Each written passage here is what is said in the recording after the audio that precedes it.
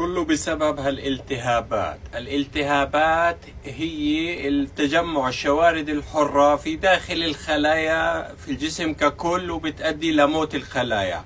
الشوارد الحرة بدها مضادات الأكسدة مضادات الشوارد الحرة هذه.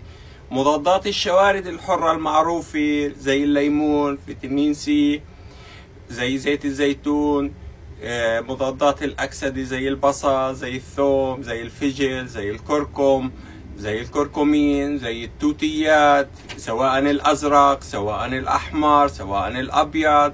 في عنا آه، الأكاي توت آه، يحتوي على 80 ألف من قوة هذا المضاد للأكسدة اللي هي بتنحسب في آه، مقياس ال ORAC ال ORAC جاي من oxygen.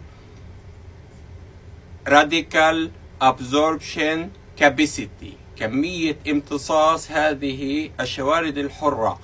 فعنا ال acai berry هذا النوعية من التوت بيكون في 80 ألف. كل ما زادت كمية المضادات الأكسدة كل ما كان مخفف للالتهاب. ففي هاي الحالة في عنا شيء أقوى بكتير بيوصل ال ORAC لحد 3 ملايين. وهذا الشيء موجود. الجرعة الواحدة منه تعطي 3 ملايين بمقياس ال ORAC يعني قوتها. مقارنة بالثمانين ألف في أقوى توت موجود.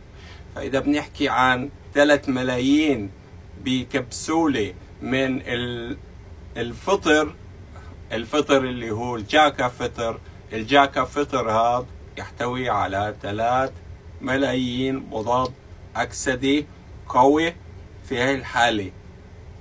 إذا تناولناه والمشكلة إنه بدنا ناخذ معلومات إضافية كثيرة قبل ما نتناول هيك أدوية قوية في فعاليتها.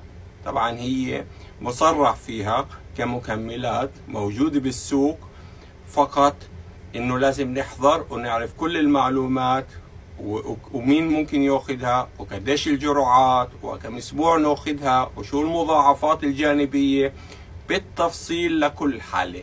وهذا هو وظيفتنا إن نقدم لكم كل هاي المعلومات إن شاء الله في الاسابيع القادمة اللي تستغلوا هذه المنشطات والمضادات للأكسدة مش بس مضادات للأكسدة. آه مضادات الأكسدة هذا موضوع تاني بس الفوائد الجمة الموجودة في الفطر الجاكا من تحسين الوظائف الدماغية